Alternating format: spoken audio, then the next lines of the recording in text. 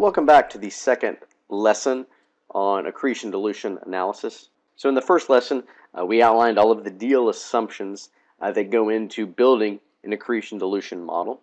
And we're modeling the hypothetical, actually this acquisition did happen, uh, the acquisition of Google made of, of Motorola Mobility. So at this point we can calculate the company's standalone net income, and then it's just simply the projected earnings per share on a standalone basis times the number of shares the company has outstanding. So Google was expected to earn $25 per share, and it has 310 million shares outstanding for a total net income of $7.75 billion. And we can do the same thing for Motorola.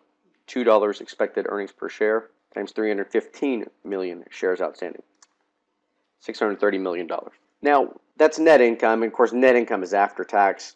For the purposes of this analysis, we want to calculate everything on a pre-tax basis. So the way to go from net income to a pre-tax income is take net income and divide it by 1 minus our projected tax rate, and we have that tax rate over here. So uh, before taxes, Google would earn you know, roughly $12.9 billion. Motorola would earn a little over a billion dollars, again, prior to taxes. Now we're simply going to take uh, the two companies' pre-tax income and just combine them. So they would uh, at this point earn almost $14 billion pre-tax income. Of course, now we're about to throw in some adjustments and then recalculate taxes. Now, our first adjustment is the interest expense from the new debt Google's going to issue. Google's going to issue 6.3 billion in new debt. It's going to pay 5% interest on that debt.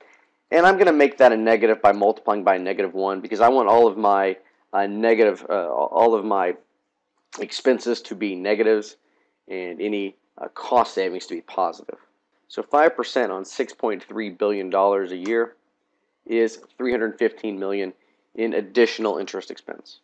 Our second adjustment, of course, uh, as mentioned, uh, we're allowed to write up the assets of Motorola uh, to their fair market value, but those that write up must depreciate and amortize over time. So that will increase depreciation and amortization by $500,000 a year. And again, I'm making all of my expenses to be negatives. We have to pay the investment bankers, the lawyers, and the accountants. We assume that all of those guys are going to charge us about $5 million. All those deal fees, those advisory fees are expenses incurred. And the debt bankers, we raised $6.3 billion worth of debt. Debt bankers are going to charge us some fees. Those debt underwriting fees are capitalized and then amortized over the life of the debt, resulting in uh, $400,000 additional expenses. Of course, we do believe Google will be able to realize some synergies in this acquisition, and we assumed it was $100 million. Of course, that's a positive uh, because synergies uh, will increase net income. These other adjustments reduce net income. So at this point, we can calculate pro forma pre-tax income with all of our adjustments in there. So I'm just simply going to sum everything up above it, like so. About $13.7 billion on a pre-tax basis. But again, accretion dilution is uh, typically measured on a net income or an earnings per share basis. So we need to calculate net income.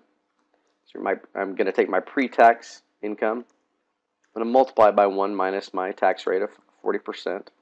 So 8.2 billion on a net income basis. And we can calculate the pro forma shares outstanding. Now remember, Google has 310 million shares outstanding already, and it's going to issue an additional 8.4 million shares to help fund this acquisition.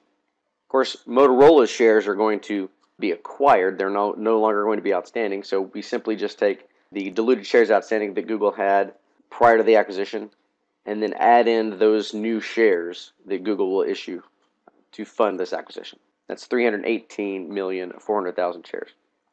From here, we can calculate the combined company, the pro forma earnings per share, net income, divided by shares outstanding, $25.90.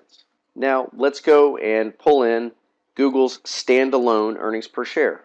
If you recall, that was $25 from our earlier video. We can see that this deal, again, given our illustrative assumptions and our numbers, this is an accretive transaction. If Google makes this acquisition, its earnings per share will be $25.90, whereas if it doesn't make the acquisition, uh, its EPS will be 25 cents. So this is a accretive deal by 90 cents. Now, it's also a good idea to calculate accretion dilution on a percentage basis as opposed to per share basis because really and truly the number of shares a company issues and has outstanding is, is arbitrary. So we'll calculate accretion dilution as a percentage as well. So we can either say that this, uh, if this deal happens, of course it did happen, but we're assuming it, we don't know yet. We can we can say that this deal is accretive by 90 cents or by 3.6 percent. And that is accretion dilution analysis. Really not too not too difficult. Now, once the accretion uh, dilution analysis is complete, it's often presented using the uh, the data table feature in Excel. Uh, since this analysis is done before a deal, it's rooted in assumptions like the offer price, you know, the form of consideration, whether it's you know stock or cash, and maybe the interest rate on on the new debt. Uh, the data table presentation in Excel enables analysts, you know, to easily change certain assumptions and see how those changes affect accretion dilution. So you can see as we uh, increase the amount of stock we issue and increase the offer price, the deal gets you know, a, a, much worse. At 100% stock and a 70% offer price, then Google would be uh, dilutive by 14 cents. This is a, a really great way uh, actually kind of uh, presenting this data is by using the, the data table feature in Excel. Now this is a brief introduction uh, to the concepts and adjustments underlying accretion dilution analysis and modeling. These are of course just a few of the many issues that come into play when, uh, when doing this type of work. Uh, other adjustments you know, that we didn't include, typically minor but could be major depending on the transaction.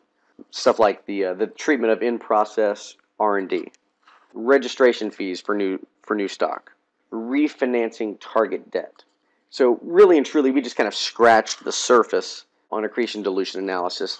But fundamentally, this is still the exact same process that you will go through uh, on the job. Thanks. I hope you enjoyed uh, the video and stay tuned for uh, more financial modeling lessons from uh, Wall Street Prep.